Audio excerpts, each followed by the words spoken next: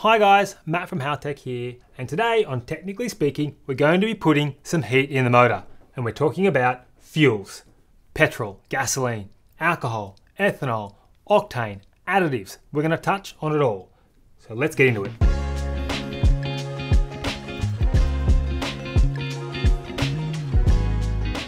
Now we've talked on other episodes in detail on the combustion process and how things like air fuel ratio and ignition timing affect engine horsepower output and engine longevity. But in this episode of Technically Speaking, we're going to talk about different types of fuel that we use in our internal combustion engines, the effects that these fuel have on power, and how we might adjust an engine's tune-up based on the specific fuel being used. But before we get too deep into the weeds here, we need to get some terminology squared away. Now, probably the most common piece of fuel information that most people have heard of is octane rating. So there's a couple ways of measuring the octane of a fuel, whether it be the RON, which stands for the research octane number, or the MON, which stands for the motor octane number. And as a side note, we could actually probably spend hours just discussing the differences in these two numbers and why RON is always higher than MON and all that sort of stuff. But for now, we really just need to know that octane is a measure of a fuel's resistance to detonation. The higher the octane rating, the less likely the fuel is to detonate at any given temperature and pressure. We want to talk about alcohol fuels too. The two most common of these are ethanol and methanol. And while these two different fuels have similar names, chemically they're actually quite different. So in short, ethanol's got twice as many carbon atoms as methanol in its chemical makeup. But realistically, that's also not important to this conversation. The important thing is that methanol and ethanol are both alcohol fuels. So they're similar in some senses, but they're also very, very different. And then, of course, we have gasoline or petroleum based fuels, or as we say here in Australia, petrol. So, with that background terminology out of the way, let's talk first about gasoline.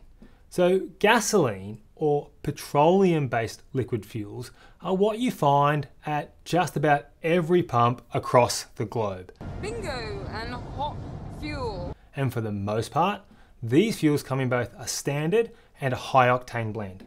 And with the high octane varieties, they'll cost you a few cents a litre or gallon more than the lower octane counterparts. So, what's the actual difference between the lower octane and the higher octane fuels at the pump? And more importantly, which should you use in your engine? So there's two answers to this question. There's the overwhelmingly simple answer and probably the overwhelmingly complex one. So I'll start with the simple. The difference is on the label. It's the octane rating. The complex answer is wrapped up in how that fuel arrives at this increased octane rating. And that one is dependent on a whole lot of factors. You know, the base oil stock that was pulled out of the ground. There's the refining process, the additives, and even the location that the end product ends up at. But that's kind of all a conversation for someone smarter than me and for another day. What's actually important to know is what that octane rating is. And that is, like I said, simply a measure of the fuel's ability to resist detonation at a given temperature and pressure. All right, so how is this information at all practical? Well, when we're building an engine, the higher the compression ratio the engine is, the more pressure is built up in the combustion chamber on the compression stroke. Now, eventually, if we increase the compression ratio enough, we're going to build up so much cylinder pressure that the air and fuel inside the combustion chamber reach their auto ignition temperature and pressure. That's detonation. That happens either just prior to or just after the spark plug fires.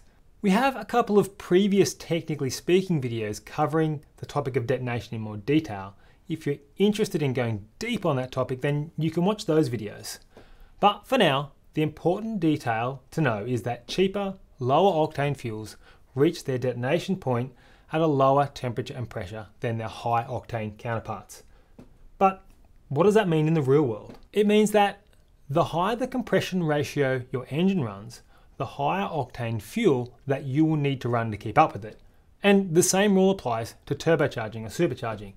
Because turbos and superchargers increase the air pressure in the intake manifold and therefore the pressure inside the combustion chamber, the more boost you're running, the higher the octane fuel that you will need to run to prevent detonation. Alright, but what happens if you've got like a relatively low compression ratio naturally aspirated engine? Maybe it's your daily driver.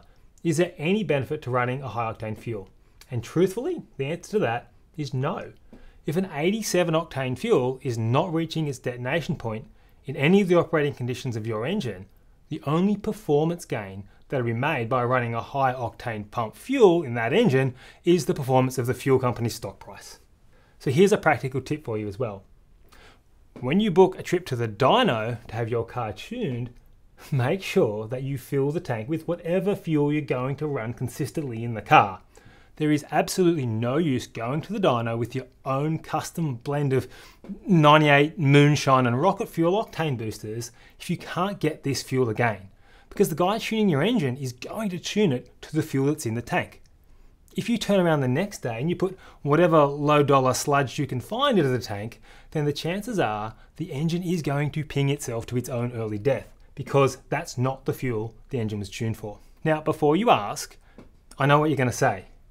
What happens if I have my car tuned on 98 or 95 and I religiously use that fuel, but sometimes when I travel out of town, I just can't get it? What do I do then? Well, luckily, a tank or two of lower octane fuel is not going to cause the con rods to escape out the side of the block. If you can't get high enough octane fuels, just fill the tank with what you can and drive accordingly. So no limiter banging, no hitting boost cut, no racing your mates in Mexico if you cannot get the quality of fuel that your engine has been tuned for. Now, if you're thinking, oh Matt, that's all too hard when Hector wants to race me for the slips, I gotta race, brah! I only race for pink slips. Well, you do have options.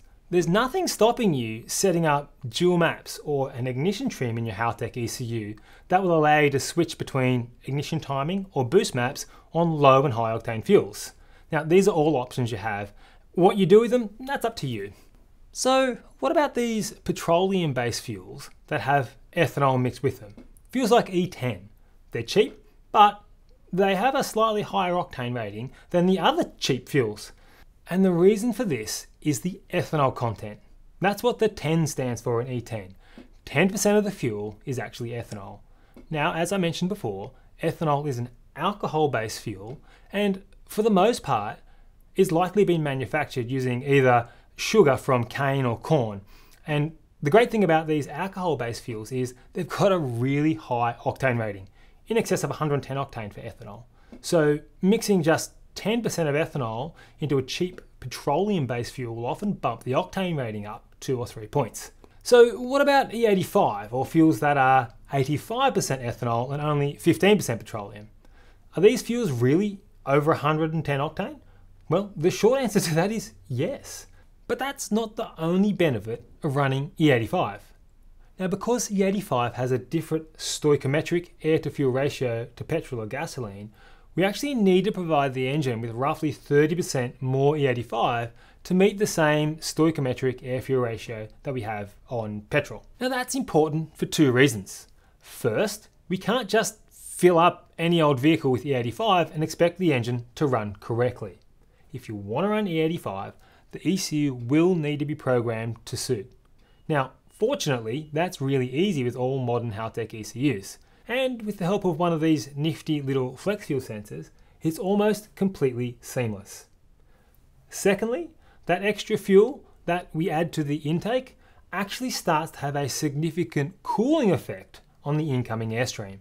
Now, what this means for turbocharged or supercharged engines is not only does E85 have a really high resistance to knock, but it also cools the incoming air. It's a bit like a mini intercooler. So, E85 is a big win for engines, but it's bad news for corn on the cob. Now, no discussion on alcohol fuels would be complete without talking about the big daddy of alcohol race fuels. Only pussies run nitro meth. Methanol. Now, just like ethanol, methanol is an alcohol, but methanol only has a single carbon atom on its carbon backbone. For what it's worth, ethanol has two carbon atoms on its carbon backbone. Again, that's not really important to the discussion. What is important with this discussion is the octane rating. And with methanol, it's almost too high to measure, which is exactly why when you want to run 120 psi of boost and 11,000 RPM in your fire breathing drag car, the only fuel you even attempt to run is methanol. So methanol fuels have a stoichiometric air to fuel ratio of around 6.5 to 1, which in round terms means that we need to run twice as much methanol than we would gasoline to maintain the same chemical relationship of air and fuel in an engine. All that extra fuel means more cooling of the intake charge, and cooler air is more dense air, and more dense air equals more horsepower. So, why aren't we all just running methanol in our daily drivers and ripping around in 3000 horsepower Pro Mods? Well, we could, but while methanol is a great race fuel, it's also a great solvent and it reacts with lots of organic compounds, things like rubbers, seals, alloys of aluminium. They can all be damaged by methanol. So methanol racers know this and they take really good care to flush out their fuel line, clean their fuel injectors regularly. They replace their fuel filters all the time. And they do this stuff on a regular basis. So while methanol is a really fantastic fuel for going fast, it's kind of a lot of upkeep and maintenance. So there we go. We have three different fuels we put into our engines, all with different uses. If you've got more questions about this, put them in the comments below and I'll do my best to get back to you. I'm Matt from Haltech and I'll see you next time.